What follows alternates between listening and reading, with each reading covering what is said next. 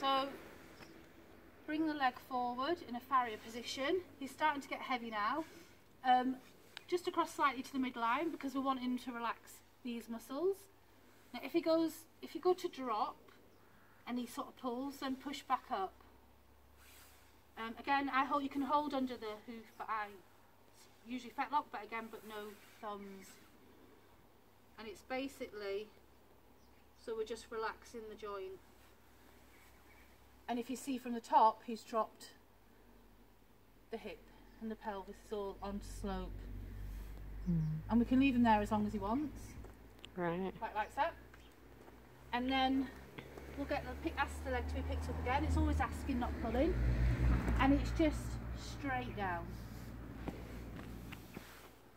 Because again, we're relaxing the joint, we're not stretching. And then we just do little wiggles. And again, if he lifts up, you can hold on to the hock, it's just a bit safer.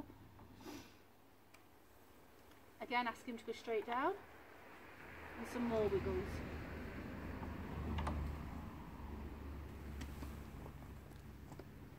Mm-hmm. Want to do the other side? Yeah.